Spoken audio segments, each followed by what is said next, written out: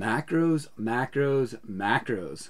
What in the world is everybody talking about macros? What are they? Why do we need to pay attention to them? Does it even matter what a macro is or how many we take? Today we're going to talk all about macros, helping you learn what they are, how you can track them, and what benefits the macros have for your meal plan and diet. So stick with us till the end and you'll learn all about what macros are.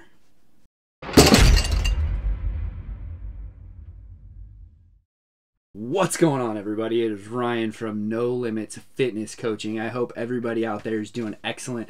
Today, we are talking all about macros, what macros are, and how they can benefit us. And does it even matter if we pay attention to what our macros are? So to get us started off, what a macro is is it simply is a type of nutrient in a food. So your nutrients that come in food are broken down into different categories. You've got things like vitamins and minerals, which are more of your micronutrients. And then you've got your macronutrients, which are things such as protein, carbohydrates, fats, and there's also dietary fiber. So we're going to talk a little bit about each of these three and how you can incorporate tracking them um, into your meal plan, how it can benefit you, and just some real basic guidelines. Each macronutrient, when it's digested, it gives your body a certain amount of energy. Now, that energy is measured in things that we call calories, very basic unit of measure, and truly, what a calorie is, is just how much energy it can provide for your body. When we think about protein, protein has four calories per gram of protein that's associated to it, which means, very simply, if you take in one gram of protein, it provides your body with four calories of energy to be able to use utilize, do whatever the body needs to do.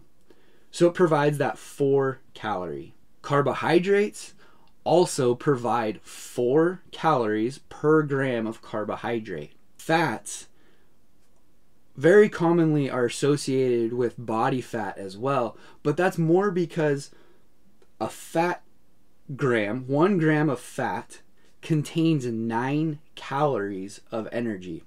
So it does provide more energy for us. It also provides more potential because of the calories to put on body fat. So that's the only reason that fat gets this kind of bad reputation. The ability, because it carries more than double the amount of calories than the other macronutrients, you do need to be careful of how much fats you're taking in, mainly because of that caloric intake. So we're going to talk about protein. Like I said, protein has four calories per gram of, of protein. Now, the calories, again, is just a unit of, of measure. It's just a way for us to explain how much energy that one gram of protein can actually provide to our body, that, that energy output. Proteins, though, are also associated with everything else in the body your muscle tissues, your hair, your nails. Everything in your body is made up of proteins. And proteins themselves are made up of chains of amino acids. So these amino acids are then broken down into your digestive system and they're used for various, various functions throughout the body, which then then again gives you that that value, that energy that can be provided. So proteins are so important because they're really the last thing that can be used to store body fat. But they're one of the first things that can be used to build muscle, to provide the um, the building blocks to put on new muscle, to to fix damaged cells, to fix damaged muscles. Proteins we need to have in our diet at a fairly high level. So making sure that the proteins are tracked and are made consistent on a daily basis and we guarantee that we're getting enough proteins is critical no matter what kind of meal plan you're taking in.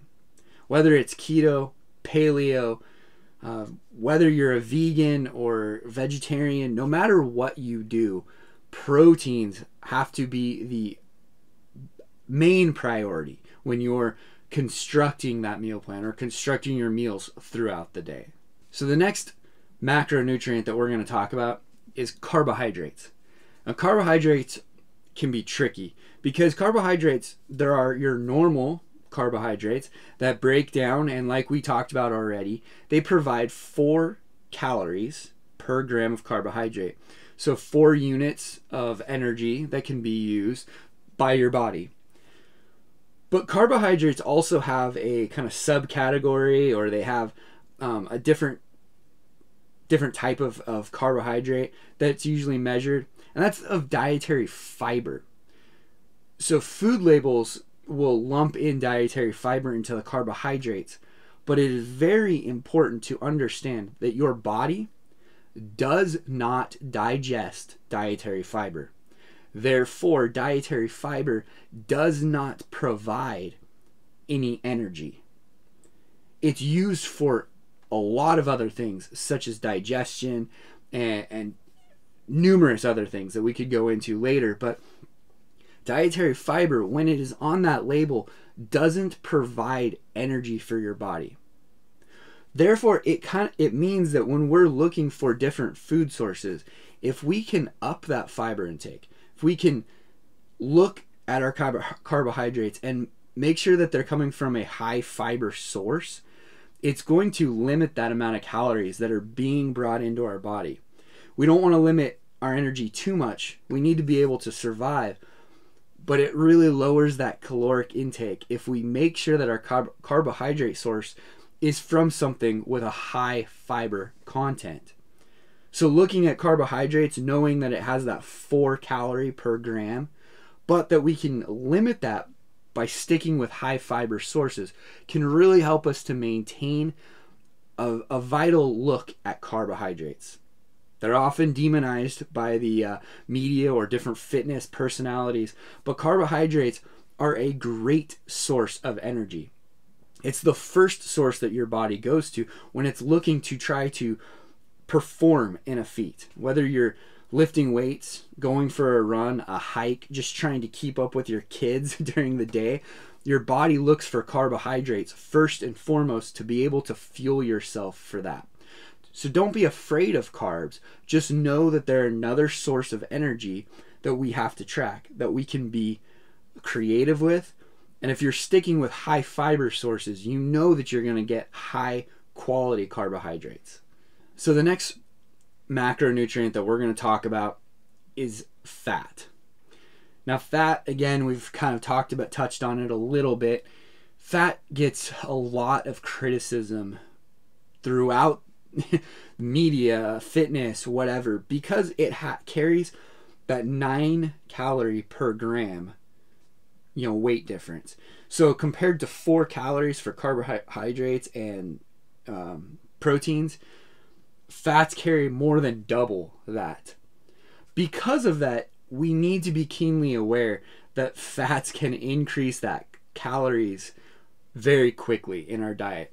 If we decide to put in a lot of butter or a lot of high fat containing foods, it's very easy for our calories to get away from us during the day. That doesn't mean we should stay away from fats. In fact, a fat in our diet is very healthy for us.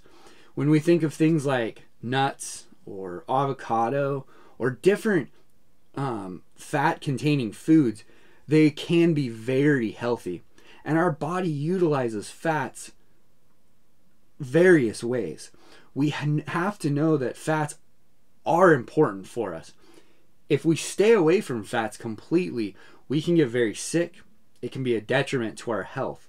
So, knowing that fats can raise the caloric intake if we're not careful, but also that we need to have some level of fats in our diet, can help us to understand we don't need to limit completely, but just pay attention to our fat intake.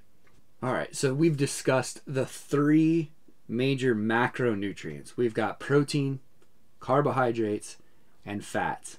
We know that the calories that are associated with each four calories for both protein and carbohydrates, and nine calories for that of fats. Hopefully, it's very clear to you guys that every macronutrient has its place in our diet. We would never want to limit or completely um, eliminate any of the macronutrients in our meal plan and expect to stay healthy and expect to really stay on our fitness goals. No, really, a balanced nutrition program is what's going to help keep you on track, help keep you sane because you're not limiting or taking away foods, and also keep you healthy and losing fat, gaining muscle. So, making sure that we track these nutrients and understand that that balance is where it's key where we're going to be successful can really help all of us to get in the best shape of our life. I hope you guys enjoy this very basic uh, tutorial on what macronutrients are. If you guys liked this video, hit that thumbs up, subscribe. I'd love to show more videos to you guys. Also, drop a comment down below. Let me know what struggle it is that you have with your fitness goals. You have struggle with your nutrition, your workouts, just finding time during the day, let me know down in the comments below. Also, if you have any questions that you'd like to hear me answer, I'd love to uh, see those questions as well. Hopefully, you guys are doing great, and I will see you next time.